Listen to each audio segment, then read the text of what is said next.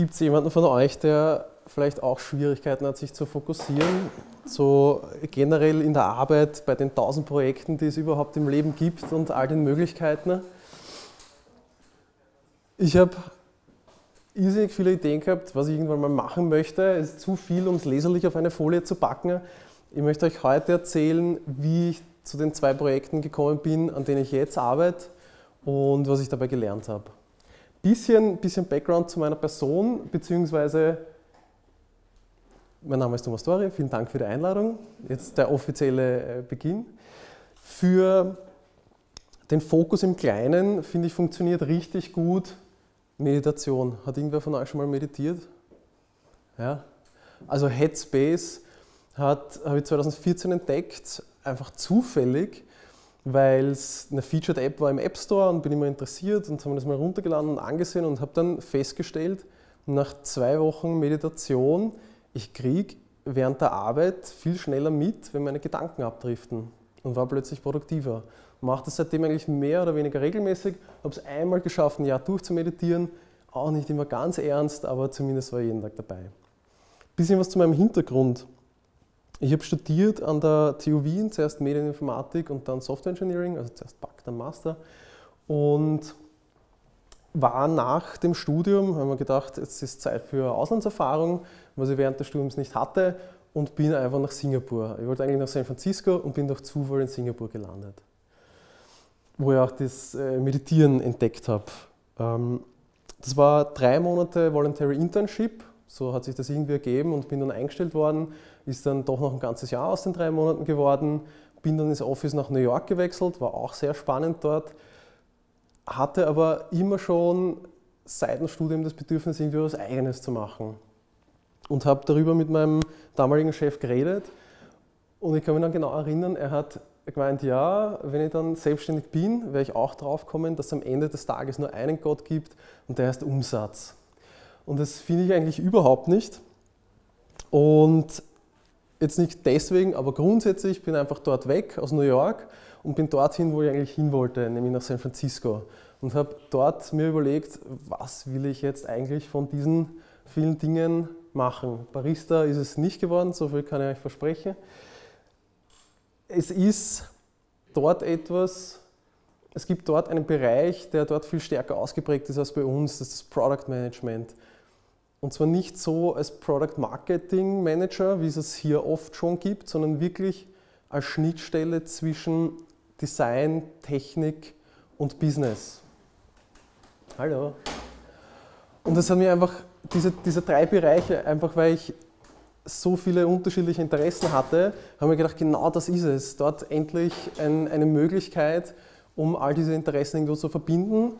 Und habe mich dann auch wirklich versucht, aktiv zu bewerben dort und es gibt dort auch Product Management Schools und Kurse und etc.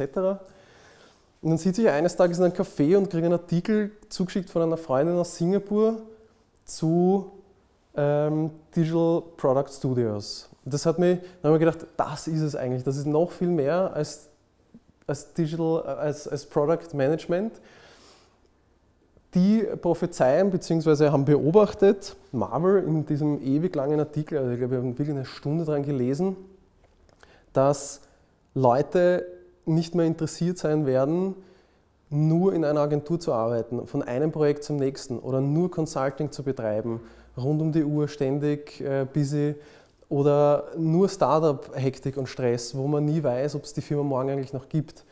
Und die haben prophezeit, beziehungsweise haben gesagt, die neue Form, beziehungsweise das, wo alle mal hinwollen oder hin möchten, sind äh, Digital Consultancies oder Digital Product Studios. Man sieht auch den Trend, zum Beispiel die großen Consulting-Unternehmen wie BCG, McKinsey haben alle jetzt Agenturen in den letzten Jahren aufgekauft oder selber gegründet, einfach weil ein digitaler Fokus her muss. Also die haben das alle verstanden und kennen auch irrsinnig viele Berater, die sich mit Startups beschäftigen, weil man einfach verstanden hat, dass sich all diese Bereiche irgendwo ergänzen und dass es nicht mehr alleine stehen muss. Und was ist ein Digital Product Studio jetzt genau? Es sind vier Bereiche. Es sind die Digital Services, es, sind, es ist Consulting, reines Consulting, es sind eigene Produkte und es ist die eine oder andere Form von Investment in Startups.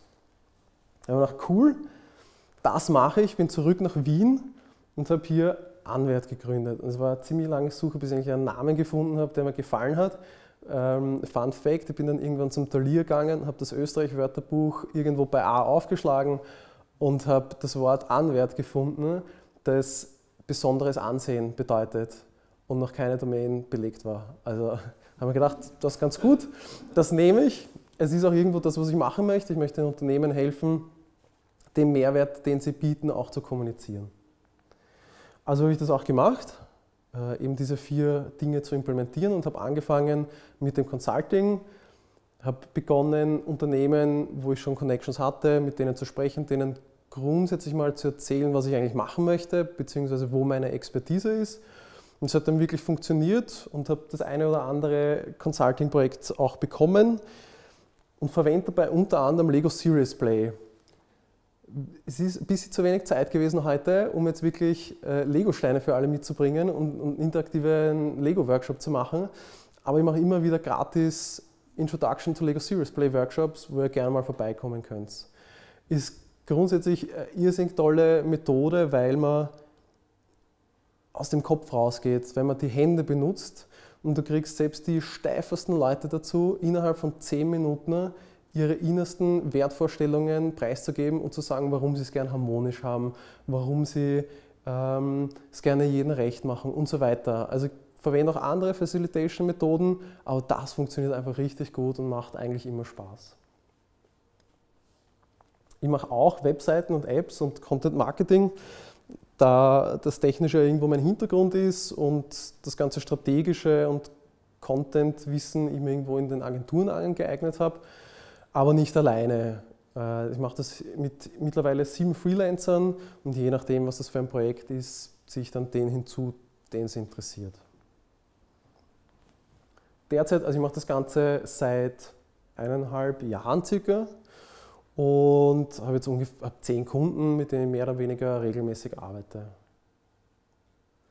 Ich entwickle auch jetzt seit circa ein, zwei Monaten eine App, die sich stark mit Personal Development beschäftigt. Warum Personal Development, werden wir später noch sehen. Und ich habe jetzt angefangen, vor ein paar Wochen mit einem Startup zu arbeiten, zu einem geringeren Preis, dafür mit der Option, eben ins Unternehmen einzusteigen. Und es macht ich finde, all diese Bereiche ergänzen sich eigentlich sehr gut. Was für euch vielleicht interessant ist, äh, und das heißt nicht, dass das der Optimalweg ist, aber so habe ich begonnen. Ich habe zuerst mit früheren Kollegen und äh, Bekannten und Vereinen oder Vereinskollegen gesprochen und denen erzählt, was ich mache oder was ich machen möchte. Und so haben sich die ersten Projekte ergeben. Und jetzt seit ein paar Monaten bin ich dann auch aktiver dran, wirklich mehr auf Events zu gehen, diese gratis Lego Series Play Events zu machen und noch eigene Blogartikel zu schreiben. Aber am Anfang war es einfach viel effizienter, die bestehenden äh, Connections und Ressourcen zu nutzen, die ich schon hatte, um da wirklich schneller, schneller starten zu können. Was habe ich jetzt in eineinhalb Jahren gelernt? Zumindest ein bisschen was. Es ist, es ist manchmal ziemlich zart ähm, aber es ist okay, weil sonst würde es ja jeder machen, oder? Und das Wichtige, was ich für mich persönlich gelernt habe, ist jetzt nicht schnell irgendwo hinzukommen, sondern eine Vision zu haben und Durchhaltevermögen zu beweisen. Das ist es, was einen, glaube ich, long, im Long Run von anderen unterscheiden wird. Was ich auch äh, schmerzlich gelernt habe, ist, dass man gewisse Unterhaltungen, wie zum Beispiel ein Angebot oder einen neuen Designvorschlag besser face-to-face -face kommuniziert, weil man nie das, was man sich überlegt hat beim Verfassen eines Dokuments, hallo, äh, irgend, nur über das Dokument kommunizieren können wird. Hat, ich glaube, wenn ich mal ein Angebot ausschicke und der Kunde regt sich nicht auf, dass es teuer ist, dann war es zu billig. Die richtigen Leute zu finden ist gar nicht so leicht.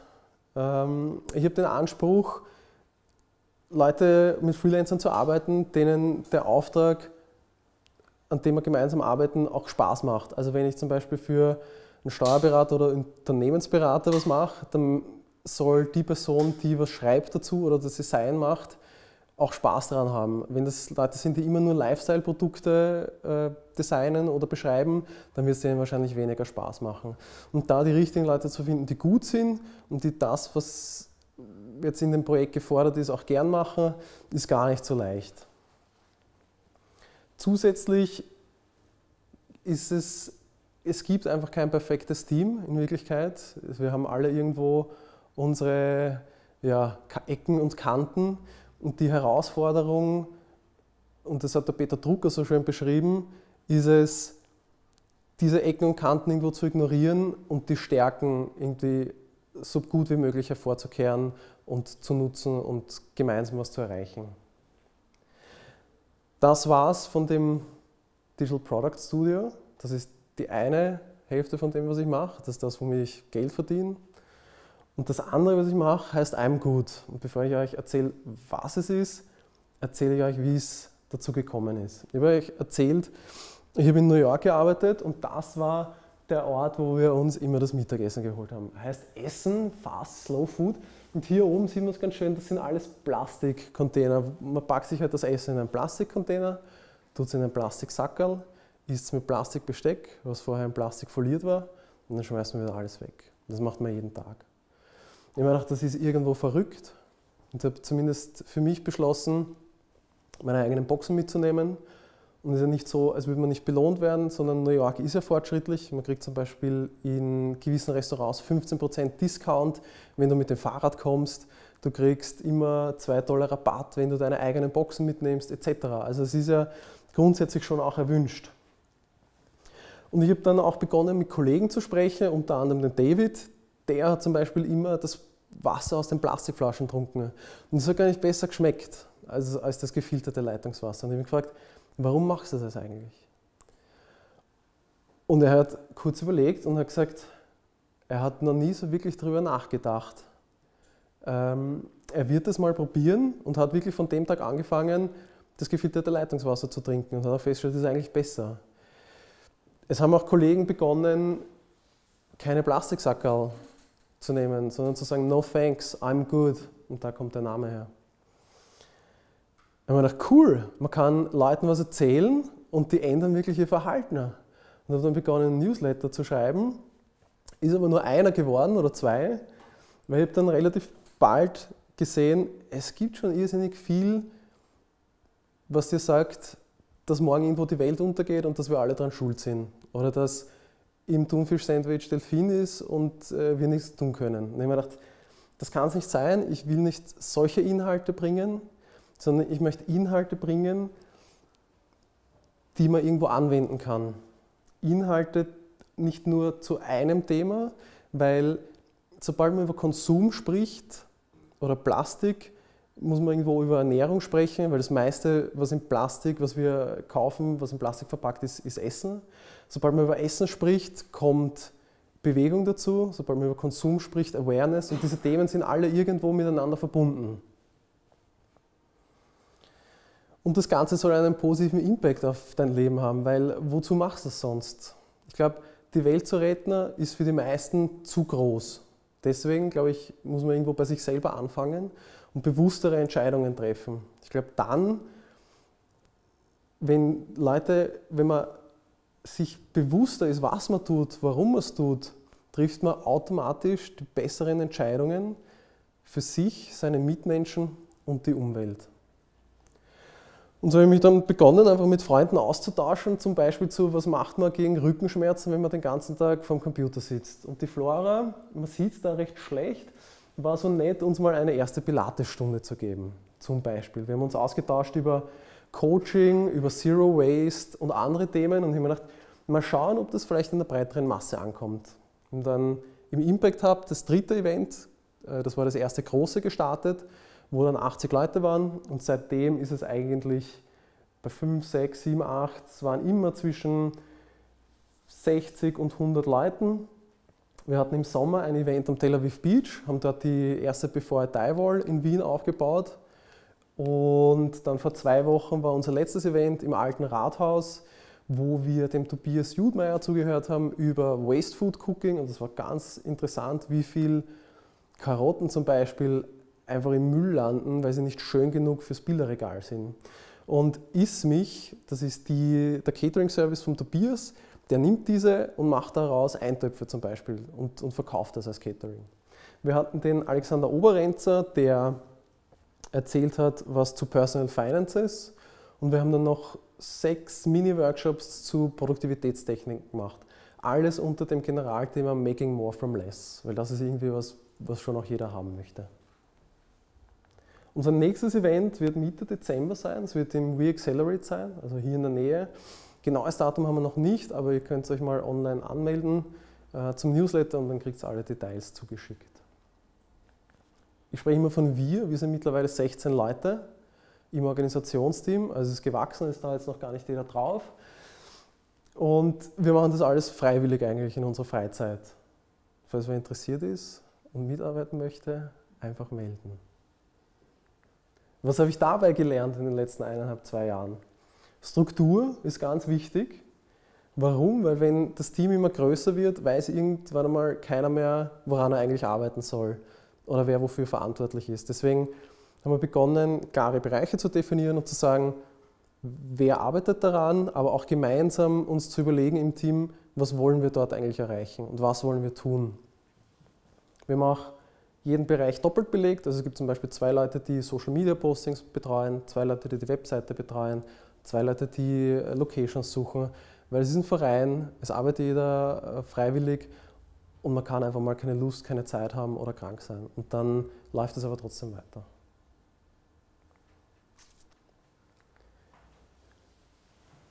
Falls wer WordPress oder so interessiert ist und WordPress gerne ähm, ja, daraus, ausbauen möchte, auch gern gesehen. Also da, das macht bis jetzt noch ich. Falls das jemand über, übernehmen möchte, sehr gerne.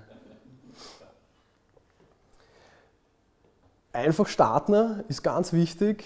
Also wir haben uns einfach zu fünf, zu sechs getroffen und es ist von dort aus gewachsen. Ist auch wichtig, finde ich, bei Produkten einfach zu starten. Die Personal Development App, die ich vorhin angesprochen habe, spielt irgendwo bei einem gut hinein.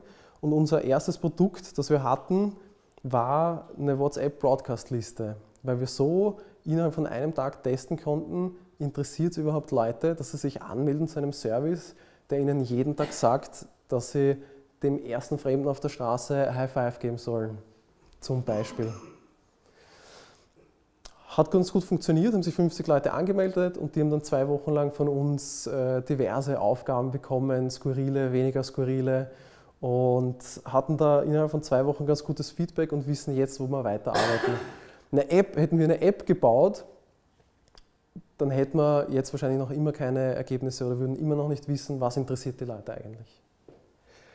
Manchmal ist aber mehr mehr und das ist besonders dann, wenn es um Promotion geht oder darum, Leute anzuschreiben. Also wir haben einfach so viele Leute bei unseren Events, weil jeder von den 16 im Team Freunde einlädt auf Social Media postet, weil die äh, Freunde von den Speakern kommen. Also wir versuchen das wirklich ganz, ganz stark und äh, so lang wie möglich, meistens wissen wir es erst eine Woche vorher, äh, zu pushen und zu promoten. Und da merkt man wirklich, je mehr man macht, umso mehr Leute kommen, macht man nichts, kommt niemand. Overbooking haben wir auch gelernt. Mindestens 100 Prozent, wenn es ein gratis Event ist, fallen mindestens 50 Prozent der Leute aus. Das heißt, wir werden in Zukunft immer 200 Leute zulassen und dann kommen wahrscheinlich 80. Zu guter Letzt, auch nicht unwichtig, die Erfolge feiern, zwar die eigenen als auch die vom Team. Und das klingt vielleicht offensichtlich, für mich ist es das nicht immer, weil wenn man gerade ein Projekt abschließt, während man eigentlich noch in zehn anderen ist, vergisst man irgendwo, dass man was abgeschlossen hat. Es ist auch wichtig, zusätzlich mit dem Team gemeinsam Erfolge zu feiern, weil das einfach das Team stärkt und Dinge viel automatischer und, und einfacher passieren dann. Das war es zu einem Gut und das war mein zweites Projekt, von dem ich euch erzählen wollte. Das sind die zwei Dinge, an denen ich arbeite. Vielen Dank und wenn es noch Fragen gibt, bitte einfach melden.